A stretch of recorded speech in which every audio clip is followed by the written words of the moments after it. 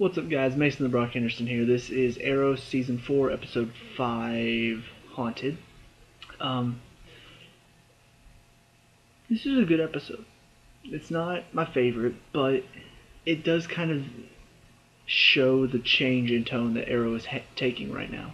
Um, I've talked before how it seems like what was going on for most of the past three seasons has been very dark. It's been very grim. The story has been just really, really focused on, you know, we need to make this as realistic and as dark as possible. Um, very DC minded, if you will. Um, so it's very interesting to see that season four now it's starting to feel a bit more fun, a bit more unrealistic, a bit more out there as far as the story goes. And this is definitely one of the most sort of fun and creepy and weird, kooky episodes. Uh, they have a guy named Constantine who ends up like first he shows up in the flashback. I'm like, who's this guy? Like they show him in a way it's like you should know who this is. I was like, I don't know who he is, and I looked it up. Apparently, there was another there was a show called Constantine that he was the star of. Um, and uh, yeah, apparently that did not do too well from what I read. But he comes in in the flashback, and then it shows Oliver calling him up in present day, saying, "Hey, I need your help with something." So it seems that he knows how to get Sara's soul back from the Lazarus pit, which is kind of weird. Um, but th- there were some really good things about this episode. Like I, I did enjoy Constantine. He was interesting. He was weird. He was funny too. Um, it, everything he did, all the witchcraft stuff was really out there. I'm like, this is weird for Arrow. This is really weird for Arrow. Um, but it was enjoyable too. So that was fun to see.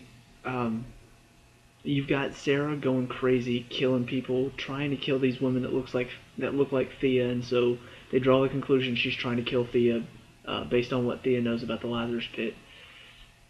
Interestingly enough, the second time Sara comes for her when she's in the hospital room, Thea's just like, yeah, okay, kill me. I'm like, wait, what? Like, do you not have what? I guess she did. She is dealing with some stuff right now. You know, after coming out of the Lazarus pit, having this bloodlust inside of her. I think she's kind of scared of herself to the point where she doesn't mind the fact that Sara's about to kill her. Um, so yeah, I, that that scene was a little bit weird, but it was understandable at the same time. Uh, then they do this little ritual thing after uh, they manage to knock her out, um, and it, it just you know, it's kind of this let's dive into her soul to get her soul back or something like that. I don't really know.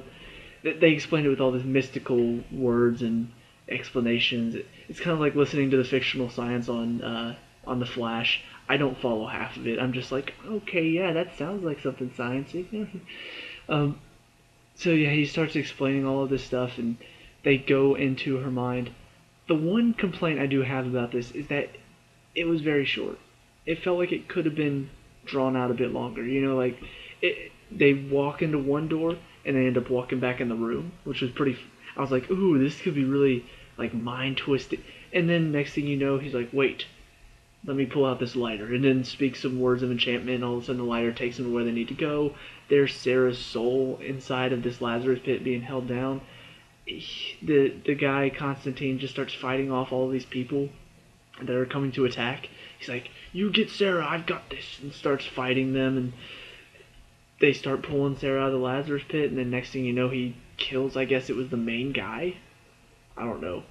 Um, but as soon as he kills him, like they just pulled her out easily. Whatever was holding her in the Lazarus pit stopped. And so they just pulled her out. And now she's back. And I'm just like, that was easy. you know, I just, I guess I wanted a bit more. Um, and it felt like they could have taken out maybe one of the attack scenes on Thea. Uh, just, you know, like have her be attacked once and have her be attacked in the hospital, and then that's when they knock Sara out. So we have more time to delve into this uh, traveling her soul. It was just, it was interesting. It was something that Arrow doesn't normally do. Like I've said, it it didn't feel like Arrow but in a good way. You know, it feels like the show is changing for the better. It's not so like focused on being serious and trying to make everything sound like the most important thing ever. You know, trying to make every line feel like this. If we don't do this, this means the end of Star City. You know, like even even Oliver's main line throughout pretty much all the first two seasons. You have failed this city. It's like, dude, lighten up. Like, let's have some fun. There was a hard, there, there was fun, but it wasn't enough. Um, and so I like the fact that they're kind of throwing in some fun stuff to the show now. So it's getting more enjoyable to watch. But like I said, I wish there was a bit more of that in here. Uh, the flashbacks kind of felt unnecessary. Like he shows up. Eh, it, I, I don't know how to explain it, but the way it, it happened, pretty much it meant nothing. Like ultimately, when you really think about it, Constantine kidnapping Oliver, taking him to this cave, and then Oliver, like they find this scepter that he's looking for. He nearly dies from a trap. Oliver saves his life. It felt like that whole scene happened just so he has somebody to call to help Sara get out of you know get her soul back. He he has this occult detective to call. It just it felt like it was forced into the flashback, and I've I've already you know said that I don't like the flashbacks as much this season um, because in the first three seasons the flashbacks were handled very well because they tied in with what was going on currently while still feeling like it's telling an actual narrative and it's telling an interesting story going on there too. I really I really enjoyed that. This season so far, it feels like so far it hasn't connected to anything. Then finally in this episode, it does connect to what's going on right now, but the narrative in the flashback has now kind of been broken up. Like it where it was flowing, now it just kind of had to stop for a second so he could go on this adventure with Constantine so that way the present thing can happen right now. It was poorly written, uh, and that's not usual for this show, so it was disappointing for me. But overall, though, I'm I'm still am pleased with this episode. I wouldn't say that I'm I'm like completely agreeing that oh this season's gonna be amazing, but I do have a bit more hope for this season now because honestly, the end of season three did frustrate me um, quite a bit actually, and especially now that Flash, you know, I'm watching Flash too at the same time. It's like I want to see Flash. That's the show that is really it's got it right. It's it's fun, it's exciting. It does everything right. The character interactions are handled well. And Arrow, while the action is still good, it, it's not as fun. It's a bit more grim. The character interactions half the time are stupid. It's almost always characters are fighting in between each other. Um, so yeah, between the two, I definitely have to say that the Flash is still easily my favorite of the two but this episode is kind of pushing Arrow in the right direction. I hope they continue that as well. Um, but we'll see where it goes. That's about it for this episode. Um, trying to remember how it ended.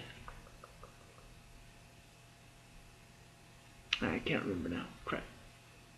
I think we found in this episode like uh, Felicity heard the the message from Ray Palmer saying that he was still alive I think that's how this episode ended. It's uh, honestly, this is one of the first times, and I'm gonna do this with the next Flash review as well.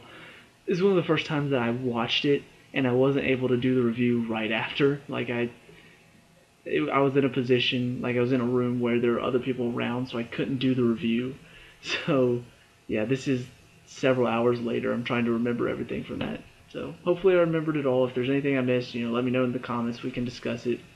Uh, but you know, let me know what you thought of this episode.